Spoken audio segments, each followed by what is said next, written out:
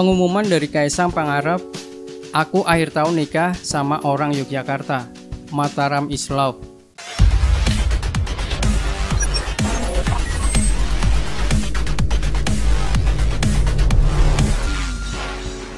Tanda-tanda Presiden Jokowi bakal mantu ketiga makin jelas. Kaisang Pangarep terang-terangan bilang akan nikah akhir tahun.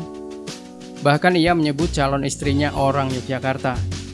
Pengumuman bahagia ini disampaikan adik Gibran Raka Buming Raka melalui akun Twitter terverifikasinya Senin 3 Oktober 2022 ketika mengomentari dunia sepak bola Indonesia.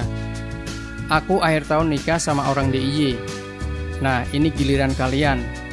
At Persis Official, at PSM Jogja, untuk melakukan perubahan kecil di dunia persupporteran, Kaisang Pangarep mencuap, Nuansa manis sekaligus romantis makin kentara ketika calon suami Erina Gudono mengakhiri cuitan dengan menyematkan tagar Mataram Islau, Mataram adalah cinta. Cuitan ini langsung direspon Wali Kota Solo, Gibran Raka Buming. Putra sulung Jokowi menyebut pernikahan Kaisang Pangarep dan Erina Gudono nantinya jadi simbol perdamaian.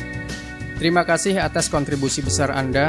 Pernikahan ini adalah simbol perdamaian antara Persis dengan PSIM Jogja Bintang film sesuai aplikasi mencuit dengan huruf kapital.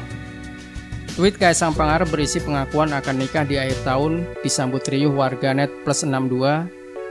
Berdasarkan pantauan Showbiz Liputan 6.com Selasa 4 Oktober 2022, ribuan orang menyukai ini.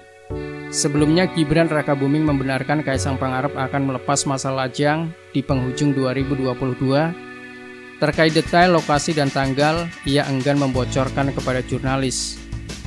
Ratusan warganet lantas merespon kabar bahagia dari Kak Kaisang, undang perwakilan Braja Musti, sama Pasopati beberapa orang mas, nanti foto bareng simbolis perdamaian, oceh akun netizen. Yo yang iso undangan Persis fans, Pro PSIM fan Yosang, Ben Guyub Rukuni Solo Kuantel. Kalau bisa undang juga fans Persis, dan PSIM ya, biar guyup dan makin kental persaudaraan. Cuit akun netizen lain menyaut.